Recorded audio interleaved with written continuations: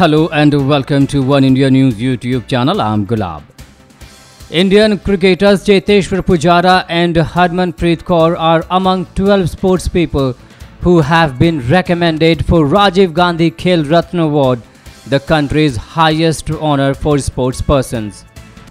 Cricketers Cheteshwar Pujara and Harmanpreet Kaur, Paralympic medalists Mariyappan Thangavelu and Varun Bhati, and golfer SSP Chawrasia among 17 Arjuna awardees this year.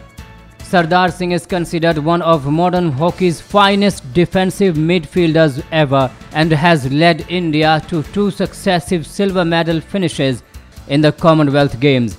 He was also the captain of the team when India won the bronze medal in the 2015 Hockey World League.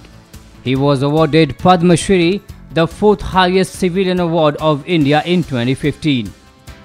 Two-line Paralympic gold medalist Devendra Jhajharia became the first Paralympian to be recommended for the country's highest sporting honor. The 36-year-old Jhajharia, who is the first Indian to win two Paralympic gold medals, was the first choice of the awards section committee headed by Justice C.K. Thakkar. Jhajharia had won his medals in the javelin throw event. The final call on this would be taken by the sports ministry.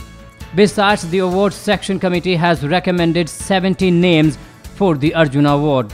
The list includes cricketing men's team test regular Cheteshwar Pujara, women's team World Cup star Harmanpreet Kaur, Paralympic medalists Mariyappan Thangavelu and Varun Bhati, golfer SSP Chawrasia and hockey player SV Sunil.